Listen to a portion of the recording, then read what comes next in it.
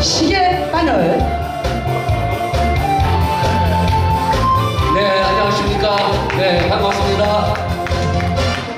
사는 게